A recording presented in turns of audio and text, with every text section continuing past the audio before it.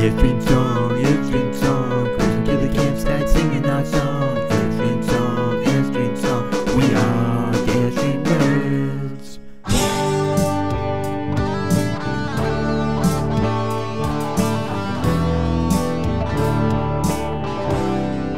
This is Jeff from Airstream Nerds, and while this is not an Airstream, it is a hose that I use to wash the Airstream.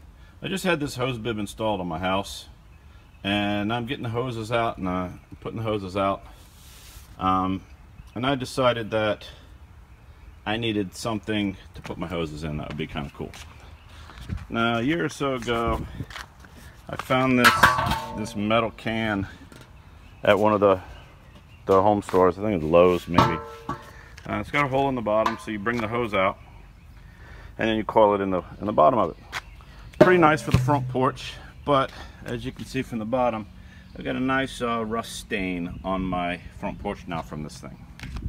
So I decided that um, I'd go and try to find some sort of heavy clay pot type thing. I'm sure they had them, so I went to the uh, place here called At Home.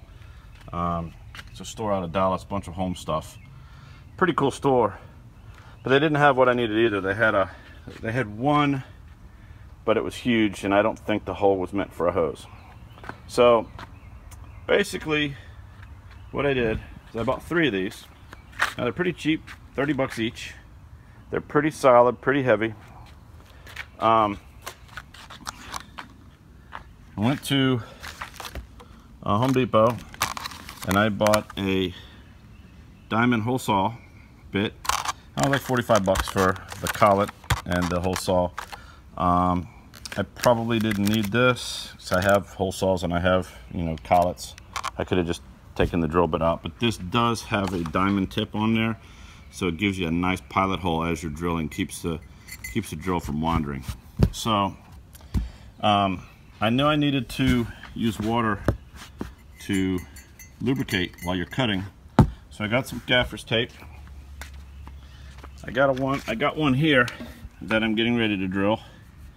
I got the hose on. I got the hose taped. And I'm going to turn the water on just a little bit higher.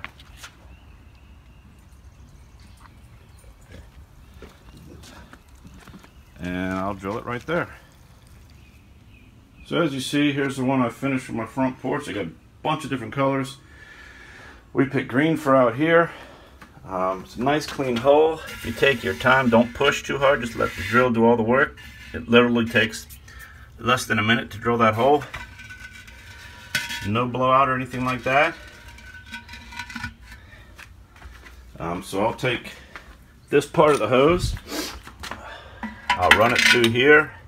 I'll hook it up onto the spigot and then I'll coil the hose into there and I will have a nice heavy pot and it looks nice and keeps the hose from just laying around looking sloppy.